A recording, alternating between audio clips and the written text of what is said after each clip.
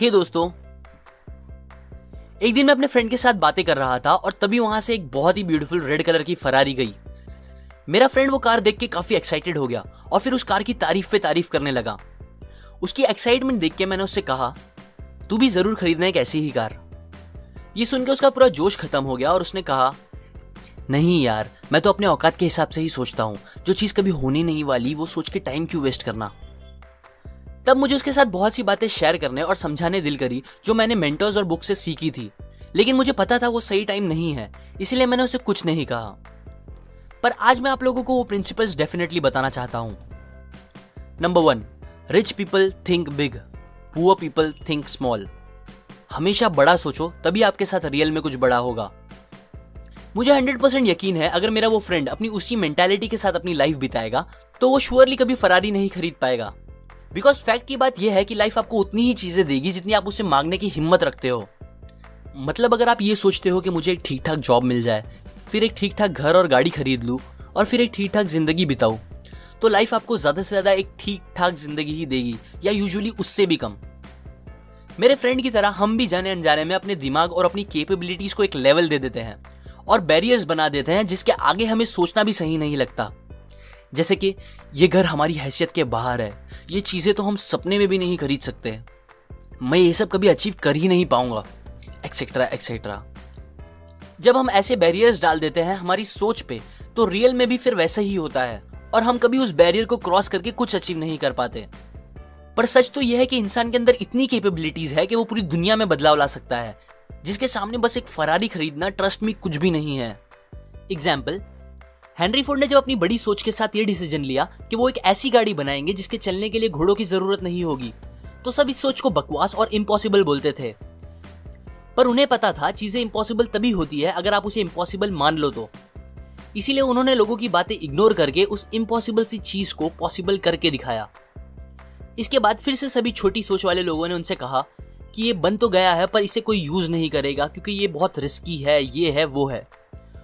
उन्होंने फिर उन पे ध्यान नहीं दिया और एट दी एंड ऐसा चेंज लाया दुनिया में कि लोगों ने घोड़े से चलने वाली गाड़ी यूज़ करना ही बंद कर दी ट्रैवलिंग के लिए। एक कोट है जो मुझे बहुत अच्छा लगता है नॉर्मन विंसेंट का। Shoot for the moon and even if you miss you will reach the stars बड़ा सोचो और उसे सच बनाने के लिए एक्शन लो। शायद आप जैसा चाहते हो एग्जैक्टली exactly सब कुछ वैसा ना हो, लेकिन यकीन करो, आप अपनी उस बड़ी सोच के साथ कुछ ना कुछ बड़ा ज़रूर अचीव कर लोगे। बिकॉज़ बड़ा सोच के ही लोग बड़े बन पाते हैं और छोटा सोचने वाले हमेशा छोटे रह जाते हैं। Number two rich people admire other rich and successful people poor people resent rich and successful people ऐसा कितनी बार हुआ है कि आपने किसी अमीर इंसान की बात की हो और लोगों ने आपको यह कहा हो कि, अरे, ये सब लालची लोग हैं जो दो नंबर का काम करके आगे बढ़ते हैं। आपका तो पता नहीं, मैंने ऐसी बातें बहुत बार सुनी है। और यूजुअली उनके मुँह से जो गरीब है और खुद दिन में सौ गलत काम करते हैं पैसों के लिए। पुअर मेंटेलिटी वाले लोगों को लगता है कि हर अमीर इंसान कुछ गलत करके ही आगे बढ़ता है, जो कि सच नहीं है। पर वो ऐसा सोचते हैं क्योंकि कहीं ना कहीं वो उन्हें पसंद नहीं करते और उन्हें नीचे गिराने की सोचते हैं। जबकि अमीर मेंटेलिटी वाले लोग सक्सेसफुल लोगों से इंस्पायर होते हैं, उन्हें और ऊपर बढ़ाने की कोशिश करते हैं। वो उनसे जलने के बजाय उनसे सीखते हैं और फिर खुद भी और सक्सेसफुल बनते हैं। Number three rich people constantly learn and grow poor people think they already know ये one of the most important principle है जो रिच को पुअर से अलग करता है। हम सब एक ना एक ऐसे इंसान को जानते ही हैं जिसे लगता है उसे दुनिया की हर चीज़ पता है। आप उससे कुछ पूछो या ना पूछो, वो आपको फुल कॉन्फिडेंस में पॉलिटिक्स ग्लोबलाइजेशन और ऐसे बड़े बड़े कॉम्प्लिकेटेड टॉपिक्स की बातें ऐसे बताएगा, जैसे उसने उन सब फ़ील्ड में पीएचडी करके सालों उनमें काम किया हो। और अगर गलती से आप उसे कुछ अच्छा समझाना चाहोगे तो वो हमेशा आपको बोलेगा, मुझे मत सिखाओ, मुझे पता है सब कुछ।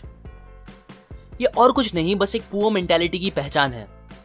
एल्बर्ट आइंस्टाइन का कोट है the more I learn the more I realise how much I don't know मतलब मैं जितना ज़्यादा चीज़ों के बारे में सीखता हूँ, उतना मुझे समझ आता है कि मुझे कितना कुछ नहीं पता उन्हीं चीज़ों के बारे में।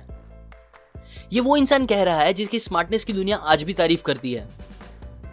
और हम यहाँ थोड़ी बहुत न्यूज़ देख के पेपर्स या बुक पढ़ के ये सोचते हैं कि हमें सब पता है। और अगर दुनिया हमारे हिसाब से चलने लगेगी तो कुछ बुरा होगा ही नहीं कभी। अब मैं ये नहीं बोल रहा कि दुनिया में सब कुछ सही या सब कुछ गलत हो रहा है, पर बात यह है कि चीज़ें हमें जितनी सिंपल लगती है एक्चुअल में उतनी सिंपल होती नहीं। सो आप ये मत अज्यूम करो कि आपको सब कुछ पता है। रिच लोगों की एक आदत होती है कि वो कितना भी सीख ले या पढ़ ले, वो और सीखने से पीछे नहीं हटते। कि कहीं उन्हें कुछ ऐसी काम की बात ना पता चल जाए जो उन्हें अभी तक नहीं पता। वॉरेन बफेट जो कि वर्ल्ड के रिचेस्ट और मोस्ट सक्सेसफुल इन्वेस्टर्स में से एक है, वो दिन में आठ घंटे बुक्स पढ़ते हैं। नियरली 600 पेजेस से हज़ार पेजेस तक। Bill Gates at least 50 book हर साल पढ़ते हैं। और ऐसे ही मार्क क्यूबिन इलॉन मस्क और सारे बड़े सीईओ बहुत सारी बुक्स पढ़ते हैं और नॉलेज लेते ही रहते हैं। ये लोग दुनिया के कुछ सबसे समझदार और अमीर इंसान हैं, पर फिर भी इनका एटीट्यूड ऐसा नहीं है कि मैं इतना सक्सेसफुल हूँ। मुझे क्या ज़रूरत है सीखने की किसी से भी? बल्कि ये आज भी उतने ही ओपन माइंड से सीखते हैं जितना पहले सीखते थे। और यही रीजन है कि ये दुनिया के सबसे सक्सेसफुल लोगों में से एक बन गए हैं। आपको भी सक्सेसफुल बनना है और खुश रहना है तो बुक्स पढ़ो। नॉलेज लो अलग अलग सोर्स और मेंटर्स से। और फिर सबसे मेन सीखने के बाद एक्शंस लो और उस नॉलेज का यूज़ करो। ये तीन प्रिंसिपल्स थे उन सत्रह प्रिंसिपल्स में से, जो मैंने आपको the secrets of millionaire mind book से बताई है। अगर आपको बाकी बचे प्रिंसिपल सीखने हैं तो आप ये बुक खरीद सकते हो, या फिर एक फ्री ऑडियो बुक ले सकते हो www.audibletrial.com/seeken से, या नीचे दिए हुए डिस्क्रिप्शन लिंक से जाके। audible.com एक अमेजोन कंपनी है जो आपको एक फ्री ऑडियो बुक देती है विद 30 डेज़ ट्रायल जिसमें आप ये फ्री ऑडियो बुक को किसी दूसरी ऑडियो बुक से रिप्लेस भी कर सकते हो, बिना पैसे दिए। लाइक करें अगर आपको ये प्रिंसिपल काम के लगे, अपने व्यूज़ कमेंट करें शेयर करें इस वीडियो और चैनल को अपने फ्रेंड्स एंड फैमिली के साथ, इससे मुझे काफ़ी हेल्प मिलेगी। सब्सक्राइब करें, मैं और ऐसे काम के प्रिंसिपल्स आपके साथ शेयर करता रहूँगा यूजुअली हर वीक और फाइनली थैंक्स फॉर वॉचिंग